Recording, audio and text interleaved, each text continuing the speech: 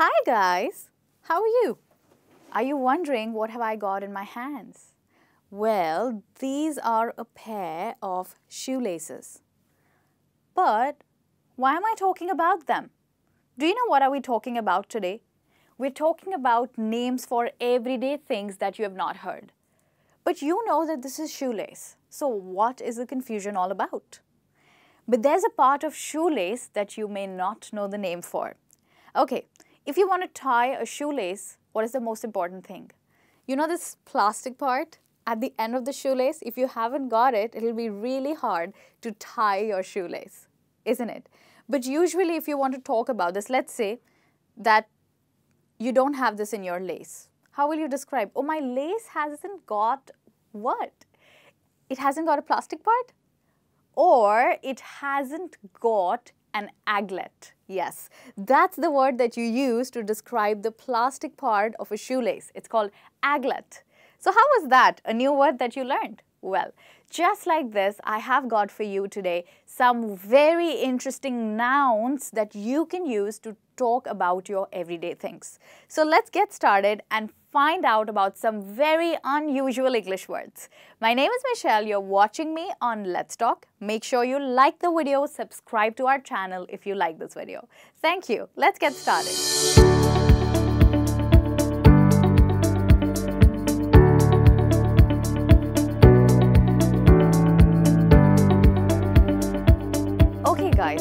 Get started. Here we have the first noun of the day with us. Why don't we start talking about different parts of our body? Yes, do you know there are some parts of your body that you don't know the name for? Well, yes. Let's start with one like this. Let's read this together. This is a cupid's bow. Well, a cupid's bow is pretty much a cupid's bow, but it is also used as the name for a place on your face. Yes. So you know that space right between your nose and your lips. Yes. It looks kind of like this and then you have your lips. Doesn't that look like a bow? It does. Oh yes, it looks like a bow. And that's why this part of our face between the nose and the upper lip is called the cupid's bow. So if you have a hairy cupid's bow, it's time you get it clean and get the hair removed. So this is how you use cupid's bow to describe a part of your face. And it's the name of the place between your nose and your upper lip. And let's look at the next one with that. Glabella. Well, this is also about a part on your face. And this one, let me tell you, is between your forehead and your eyebrows. So you see the space here? Yes, this part. So many people have a joint eyebrow. Have you seen people like that? Yes. I think I had to. Okay. So a joint eyebrow usually covers your glabella, which means the space between your eyebrows and your forehead. Glabella is the space between your forehead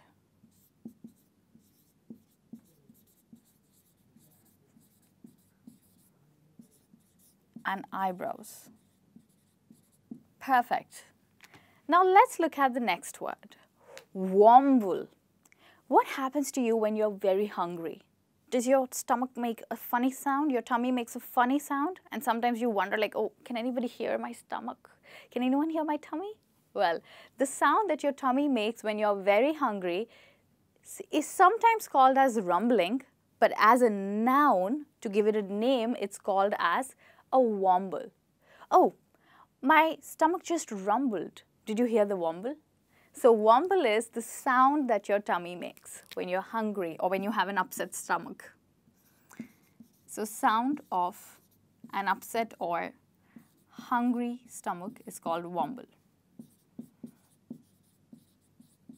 Great.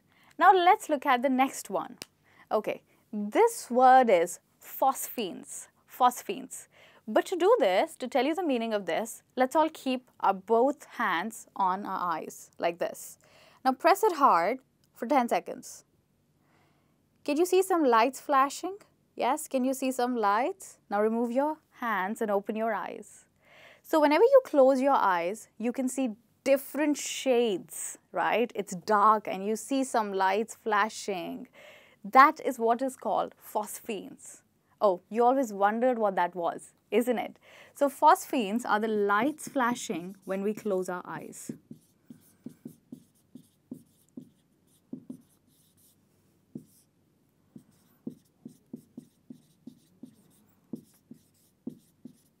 Okay, now still we are talking about our bodies. That's why let's look at another word which is related to our body.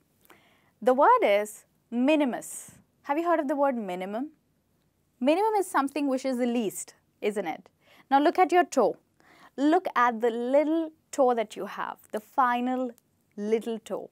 Do you know what is that little toe called? It's called minimus, the little toe or the little finger that you have on your foot. So how will you use this one?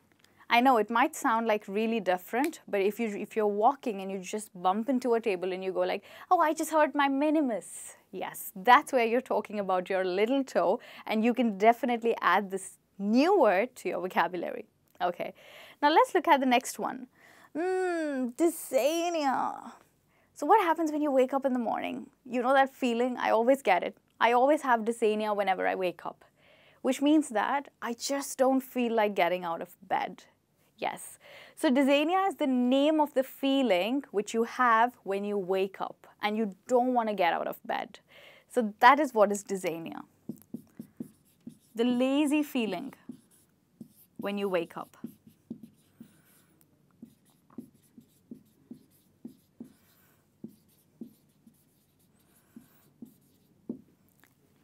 So do you also feel dysania in the morning as soon as you wake up? Okay, well if you do, you have a word to talk about it now. Okay, now let's look at another interesting word that you may not have heard of is aglet. But you heard it. Yes, you just heard it in the beginning of the lesson. I told you aglet is the plastic part of a shoelace which helps you tie the shoe knot, the lace, the, the knot on the laces. So aglet is the plastic part on a shoelace.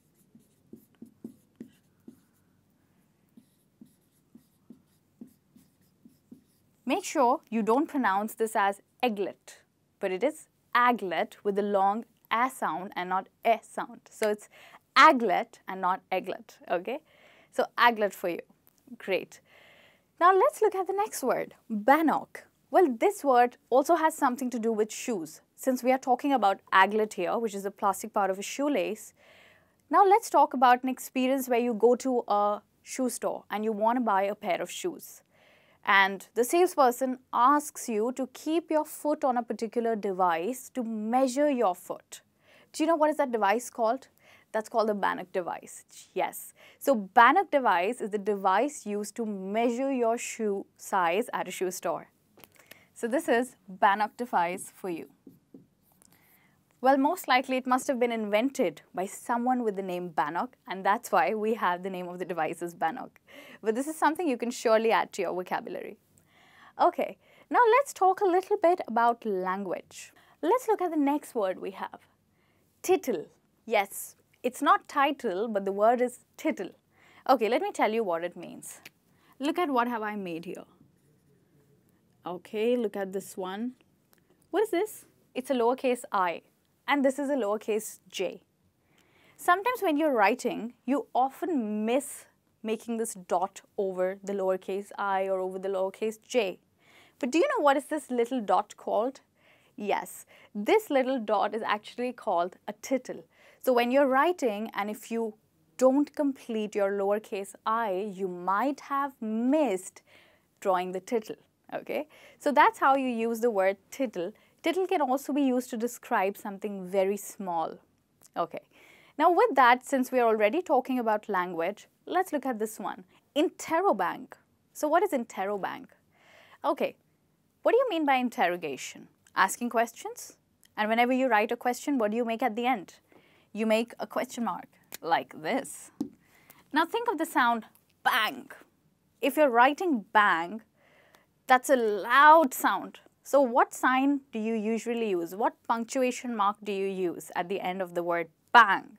Isn't it an exclamation mark? Okay. Now this is what is an interrobang.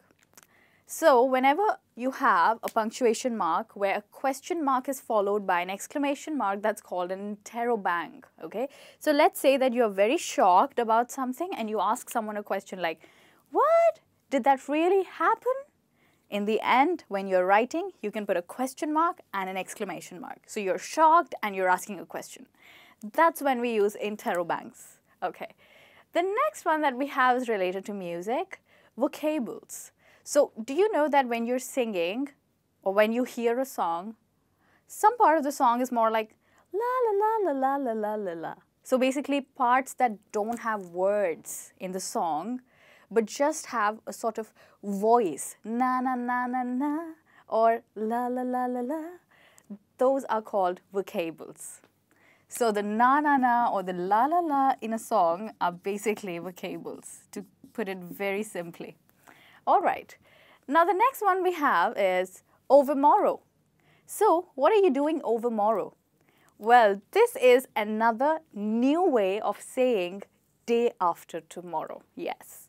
So this is a short, short new addition to your dictionary. Instead of saying day after tomorrow, try overmorrow with your friends and they'll be like, what?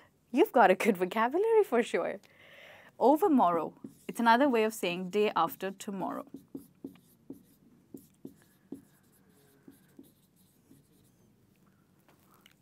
Okay, now the last one we have is my personal favorite. This is, how do you think we should pronounce this? Is it petrichor? No, this is petrichor. So do you like rains? If you love rains, you might even know this word. So whenever it rains, there is this earthy fragrance, you know, that aroma which comes out of the earth. And it's a beautiful aroma which is called petrichor. So the fragrance after rain is called petrichor or the aroma released after rain.